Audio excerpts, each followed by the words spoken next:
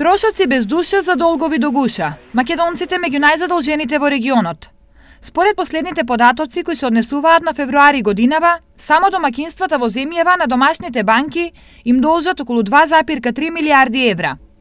Само лани, вкупниот долг на семејствата во земјава кон македонските банки изнесува 22,8% од домашниот БДП. Во последните неколку години задолжувањето на домакинствата се зголемило значајно, иако растело и БДП, но побавно.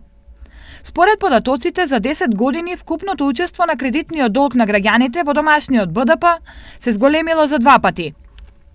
Така, ако во 2007 година тој долг е околу 14% од БДП, на крајот на 2017 година изнесува 22,8%.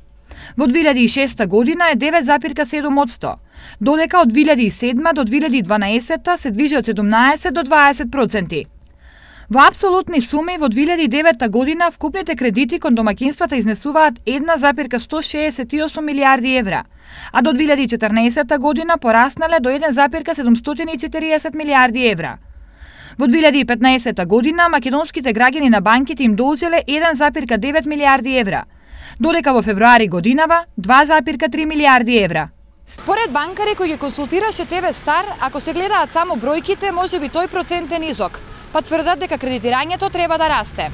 Сепак, децидни се дека нови задолжувања не се оправдани ако се само за трошење пари.